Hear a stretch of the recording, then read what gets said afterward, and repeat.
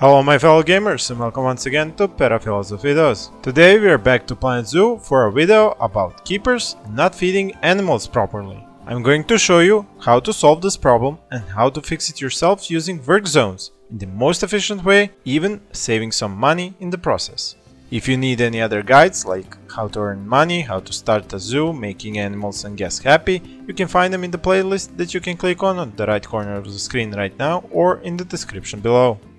Now let me show you how to fix this problem of animals not getting fed on time. For this we are going to visit one of my test zoos where I have everything set up to show you how to do this by yourself. Here you see several habitats set in a circular pattern with keepers huts and other facilities in the middle. Here you can see all the habitats and each has a keeper next to its entrance. Now what happens all the time is that even with this 100% coverage layout, you have keepers not refilling animal feeders and animals going hungry which you will no doubt agree with me is totally bonkers. The problem comes from the fact that the job organization is left to the individual keeper's AI to handle. And that AI isn't very bright, it needs more handholding than you might expect. If you leave the AI to its own devices, it is going to take too long to choose which habitats to visit and which feeders to fill. This is very inefficient and problematic, leading almost always to starving animals. In order to make sure that keepers do their job in a timely manner and prevent animals starving, you need to use one of the available game mechanics, and those are the work zones.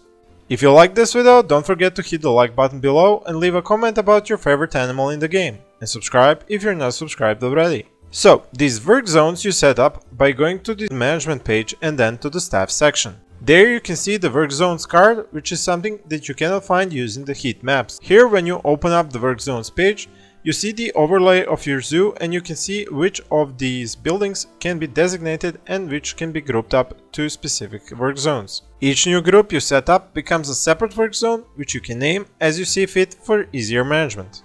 A note here to remember is that buildings and habitats can be members of multiple work zones. This comes in handy when you need to set up veterinarians or cleaning personnel.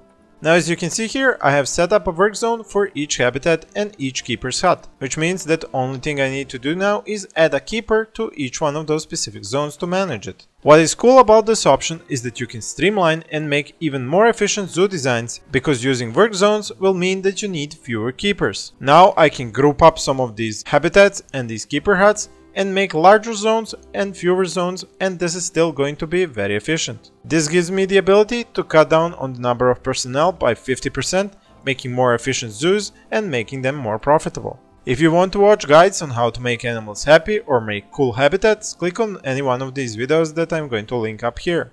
Thank you for watching and stay tuned for more videos.